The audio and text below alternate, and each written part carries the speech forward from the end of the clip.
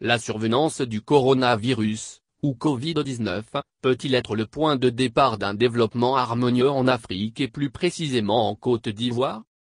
Au premier abord, la question et la référence à un virus si destructeur peuvent paraître antinomiques. Observons donc de près les faits actuels plutôt sous l'angle de l'effet catalyseur. Un de mes professeurs, analyste en survenance de sinistres industriels, a l'habitude de dire que l'humanité a besoin de crises pour s'améliorer ou du moins faire des bons spectaculaires en avant. Mais il ajoute que pour tirer profit d'une quelconque crise, il faut se poser les bonnes questions. Ainsi les pandémies des 19 et 20e siècles, peste, grippe espagnole, choléra, et cetera, ont poussé l'espèce humaine à faire des progrès en médecine, en assainissement des eaux, et cetera. Certainement qu'en ces temps-là, les bonnes questions ont été posées. Au plan institutionnel, l'humanité a créé des entités telles que l'ONU, le FMI, la Banque mondiale et aussi l'homme une organisation très en vue ces jours-ci, juste après les différentes guerres mondiales avec leur lot de dégâts matériels, de morts et de désolation pour toute la planète Terre. Ces exemples, on en trouve dans tous les domaines d'activité humaine, tels que ceux de la technique, avec comme exemple frappant, le naufrage du bateau Titanic. Les constructeurs de bateaux en ont tiré les conséquences et ont apporté des améliorations en adaptant les conditions de sécurité ainsi que les matériaux utilisés dans la construction navale. La création de l'homme obéit aussi à la même logique. L'humanité a eu à faire face à des pandémies, qui nécessitaient une institution de coordination à l'échelle mondiale. Au niveau régional, national et local, cette approche est tout aussi valable et sensée. Ceci pour dire que la crise du Covid-19 aura des conséquences inédites sur le monde y compris l'Afrique.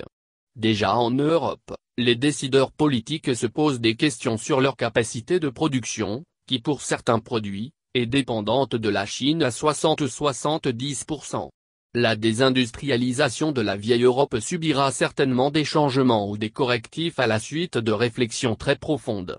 La population européenne n'acceptera certainement plus qu'on lui livre des arguments du genre « il nous manque des respirateurs et des masques pour faire face à la pandémie X ou Y ». En cela, le cas de l'Italie est édifiant à bien des égards. Voilà un pays développé ou considéré comme tel, incapable de s'occuper correctement de ses malades par manque de matériel de protection pour le personnel médical, sans parler de la population. Il va sans dire que les décideurs auront des comptes à rendre à une population particulièrement affectée par cette crise-là. Il en sera de même en France. Les services publics ont manqué de masques pour faire correctement leur travail, en Espagne et certainement aussi aux USA, un des pays les plus riches du monde, où seulement une mineure partie de la population peut se soigner convenablement. Le Covid-19 révélateur du dysfonctionnement de l'administration ivoirienne. En Côte d'Ivoire, les débuts de la crise du Covid-19 ont déjà permis de détecter quelques failles du système de décision en cas de crise sanitaire aiguë. Certes le président de la République avait déjà annoncé dans son discours devant le Parlement et le Sénat, avoir fait le nécessaire du point de vue financier pour faire face au Covid-19, mais les ratés de l'épisode de linge ont rendu les Ivoiriens et Ivoiriennes perplexes. On a vu un ministre de la Santé quelque peu perdu, que les Amazones du gouvernement essayaient d'épauler. La primature et la présidence étaient aux abonnés absents. Il a semblé un moment, que le bateau ivoire était sans capitaine. L'intervention du chef de l'État a fini par mettre tout le monde d'accord, que les choses devaient être recadrées. Il est tout de même permis de se demander à quoi servent la vice-présidence et barre ou la primature, quand on a un gouvernement de qualité Ce débit n'est certainement plus celui de l'actuel chef de l'État, mais pour ceux ou celles qui lui succéderont, il le leur sera servi, à leur corps défendant. La législature actuelle arrivant à sa fin, point besoin d'épiloguer sur la compétence des ministres de la République. Quoi qu'il en soit, l'épisode de linge nous permet de questionner les responsables de la santé sur le fonctionnement de la chaîne de décision ou de commandement dans notre administration de façon générale. Dans le cas d'espèce, le président de la République semblait dire « j'ai fait ma part ». Le ministère clé concerné, celui de la santé, avait expliqué être prêt avec certains détails précis. À l'analyse on se rend compte que les décisions arrêtées sur papier n'ont pas été mises en application avec la rigueur recommandée. Hélas, cela semble être une constante dans nos pays. on pourrait se demander si le ministère a une réglementation claire et nette sur les lieux de mise en quarantaine en Côte d'Ivoire et si oui, que disent les textes de cette réglementation Sinon, pourquoi n'y en a-t-il pas? Je pars de l'hypothèse que la Côte d'Ivoire a bien une réglementation dans ce domaine. La question est de savoir comment elle est mise en place et surtout comment on s'assure de la mise en place effective des mesures, et quel est l'organe de contrôle de qualité en cas d'application. Dans le cas de linge, qui nous sert d'exemple, l'environnement où le cadre semblait ne pas être propre et aucune disposition sanitaire ne semblait être en place pour accueillir, conseiller et au besoin prendre en charge les cas suspects. La pertinence de ces questions et les solutions proposées pourraient servir aux autres ministères et services de l'État, car comme mentionné plus haut, la chaîne de décision est très souvent défaillante. C'est d'ailleurs pour cela, que l'homme de la rue ou le citoyen lambda en appelle, pour un oui ou un non, au président de la République.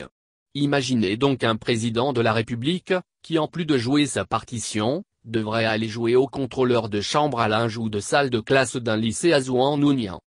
Déconnexion de l'opérationnalisation des tâches de leur gestion purement administrative et politique. C'est le lieu ici de faire remarquer que, nous avons tous et toutes nos talents, nous permettant de servir ici et là. Mais tout comme dans une équipe de football, un excellent attaquant ne fait pas automatiquement un bon gardien de but. En Côte d'Ivoire, il n'est pas rare de trouver des personnes réclamant à corps et à cri d'être nommées à des postes de responsabilité ou de voir des politiciens voulant à tout prix devenir ministre ou au mieux préside de la République. Mais ont-ils ou elles les aptitudes et les capacités nécessaires pour accomplir la tâche avec excellence et pour le bien-être de la population? Avons-nous en Côte d'Ivoire un casting permettant de choisir ceux ou celles mieux adaptés pour occuper les postes de responsabilité non électifs? Ces interrogations me permettent de faire quelques observations sur la gestion publique des dernières décennies en Côte d'Ivoire. S'il y a un aspect de la période de gouvernance au goût d'inachevé ou amer du FPI, qui a attiré positivement mon attention, c'est l'idée de faire appel à candidature pour les régies financières eu égard aux problèmes de corruption difficilement maîtrisables dans notre microcosme.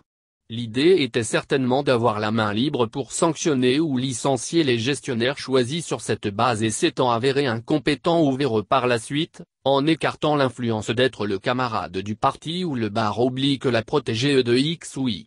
Cela semble avoir très bien fonctionné, car les services ainsi gérés, exemple service des douanes, ont été les plus performants, permettant d'éviter certainement l'asphyxie totale de l'administration malgré la crise économique aiguë de 2000 à 2010.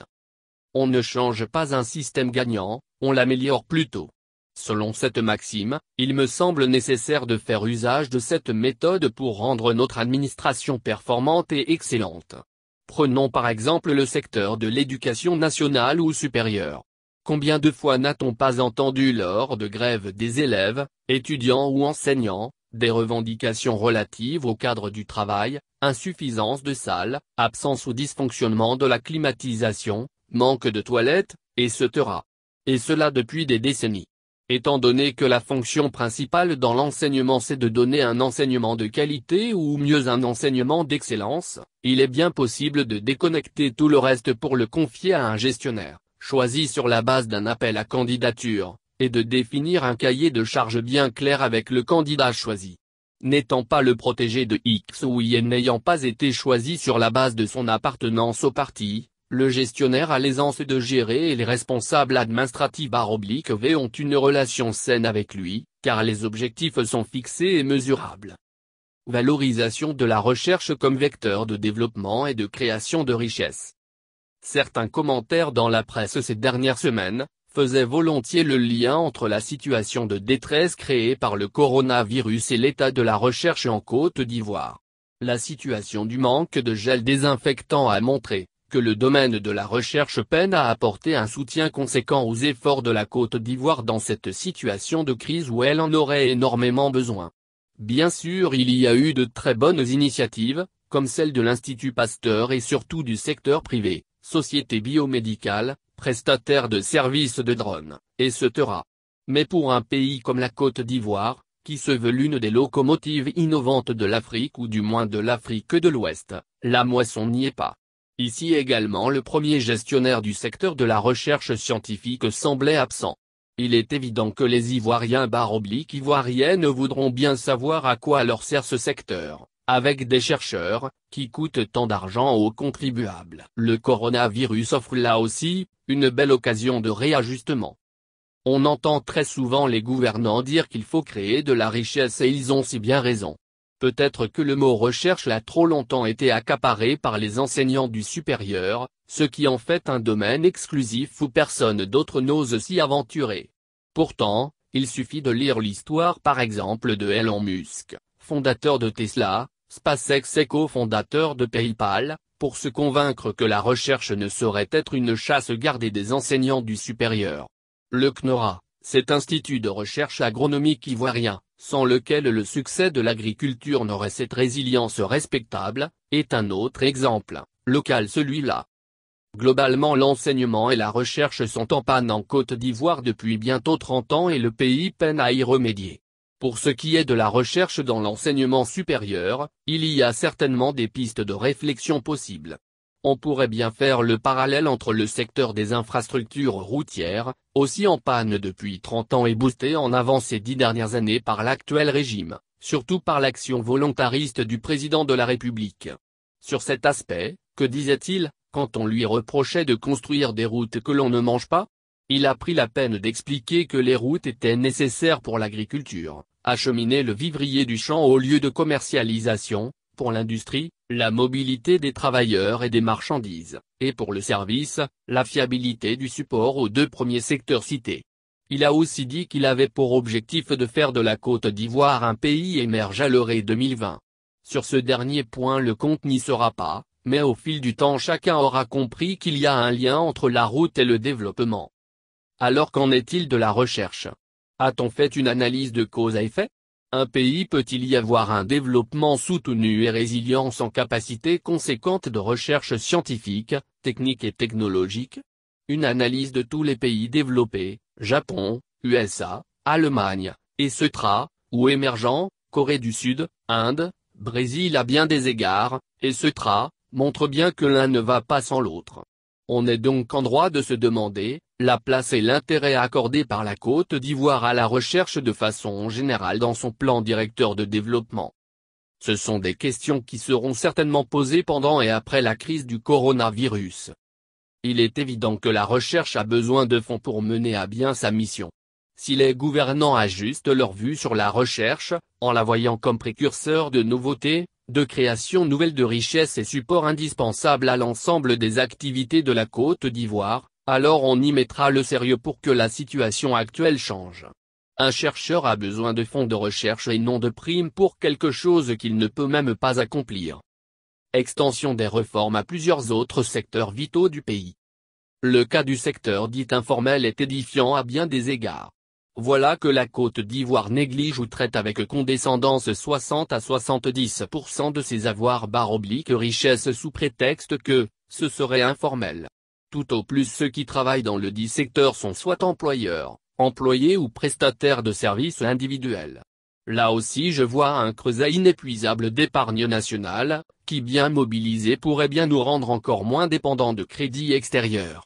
C'est donc une question de prise en considération, de réflexion, de gestion et d'approche positive pour en faire une force nationale.